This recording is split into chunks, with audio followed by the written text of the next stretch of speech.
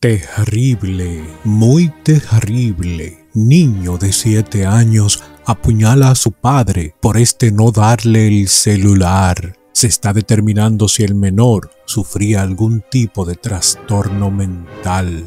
Un niño de 13 años atacó a su padre clavándole un puñal siete veces por no darle el celular. Ocurrió en España, en Palma, donde el hombre tuvo que ser trasladado al hospital de urgencia con heridas en el cuerpo, hombro y el brazo. Por suerte, ya está fuera de peligro.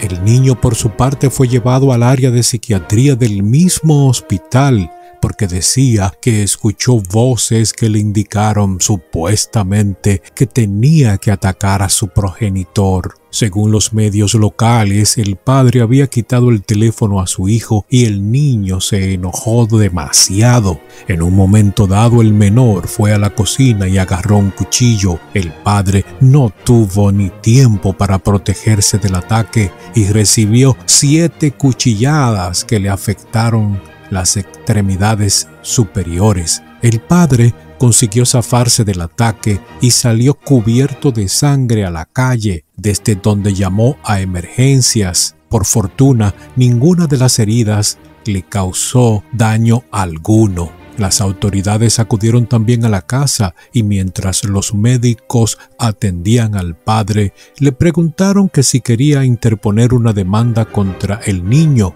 y el hombre se negó a poner denuncia alguna contra su propio hijo. El niño argumentó que oyó voces que supuestamente le habían dicho que tenía que apuñalar a su padre por no darle el celular. Por este motivo fue trasladado al área de psiquiatría del centro médico para ser explorado. Así anda el mundo, señores. Si te gustó este video, por favor, dale a compartir, envíaselo a todos tus amigos, suscríbete y dale click a la campanita para que te lleguen las notificaciones.